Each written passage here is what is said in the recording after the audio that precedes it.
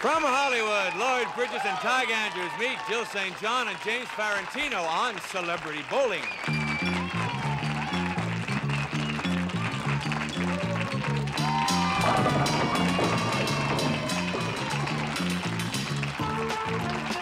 Hi there, I'm Jed Allen, and welcome again to Celebrity Bowling, the game in which Hollywood's biggest stars do what millions of Americans do every day, have a good time bowling. We got some great people. On lane number one, two very fine actors, Lloyd Bridges and his partner, the star of Mod Squad, Tige Andrews. And on lane number two, a beautiful, delightful, lovely actress, Jill St. John, and her partner, the cool one, James Farentino.